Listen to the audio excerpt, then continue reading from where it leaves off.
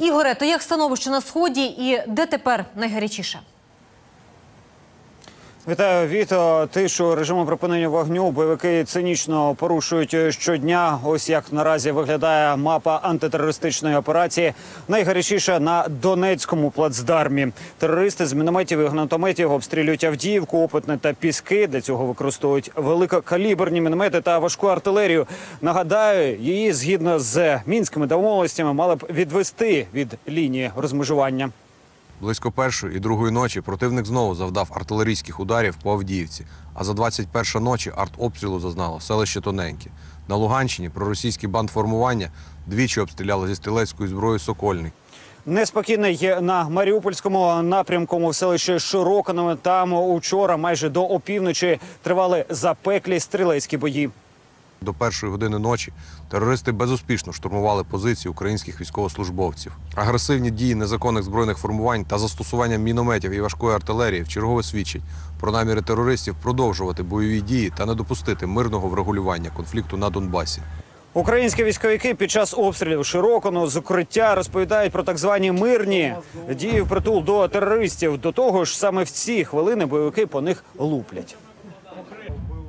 Горять книжки, не горить Шевченко. Це не ті бої, які були раніше, колись це не ті війни, які були раніше. Це дуже підвійний дуже хитрий. Підлість і хитрість заключається в тому, що от навіть зараз ви можете чути е, які відбуваються навколо нашої будівлі. Ну, то це є момент перемир'я. І це перемир'я з їхньої сторони ніяк не соблюдається, взагалі ніяк.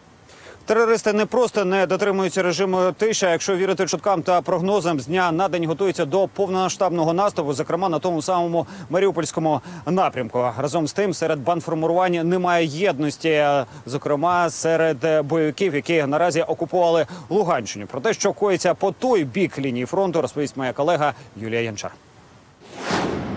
Терористи перекидають важку техніку ближче до лінії зіткнення. І серед військовиків, і в мережі кажуть про те, що бойовики готуються після 10 березня у наступ. Те, що шириться така інформація, підтверджує. Ми завжди готові до будь-якого наступу, хоч вночі, хоч вдень. Терористи і далі руйнують інфраструктуру Донбасу, обстрілюють шахти, нищать електролінії, висаджають мости, аби потім це видавати за вчинки українських силовиків. Нині в повітря злетів ще один міст на Луганщині. Поблизу селища Оріхове Попаснянського району Луганської області невідомі особи підірвали залізничний міст та колію на відстані двох кілометрів від нього.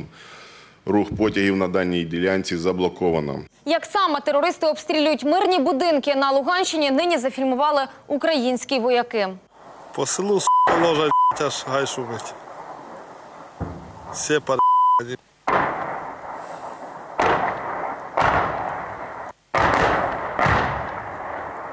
Ну і нині в мережі з'явилося відео, знято на підконтрольній терористам території, кадри з Донецького аеропорту і прилеглих територій. Ось п'ятиповерхівка, з якої терористи лупили по кіборгах. А ось і сама будівля розтрощеного нового терміналу нагадує зону відчуження.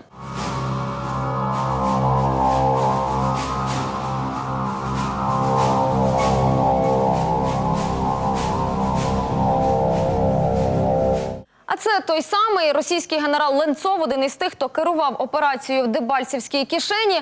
Нині вже у військовій формі з нашивкою російського прапора обходжає околиці аеропорту і новий термінал разом із російськими пропагандистськими телеканалами та спостерігачем із ОБСЄ. Розповідає про нібито дотримання російсько-терористичним військом режиму тиші і переконує, що його порушують Збройні сили України. На сегодняшний день нас самое беспокоящее место – это район аэропорта Донецка.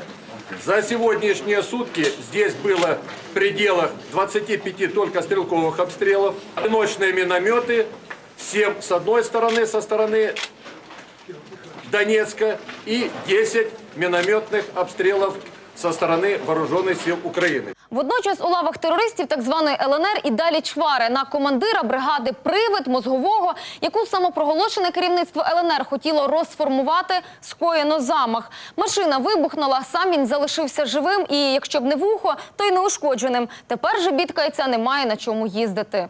Жалко машину, конечно. Поэтому все, у кого есть возможность, пожалуйста, предоставьте хоть одну машинку. Ездить теперь не на чем Про розкол між терористами свідчить і ось це опитування людей на вулицях окупованих районів Луганщини. Проводять його в Перевальському, Козачки, Козицина. І люди їм скаржаться, як тяжко живеться під головуванням самопроголошеного Плотницького, особливо про його ініціативу щодо впровадження трудоднів. Гуманитарку никто не получал.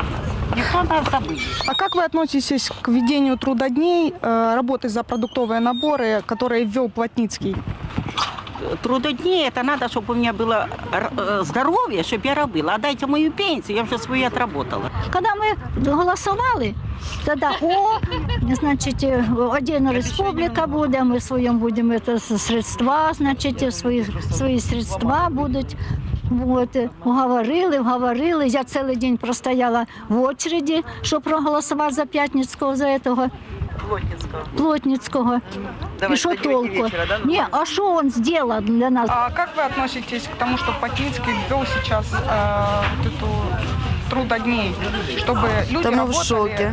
за- Мы в шоке.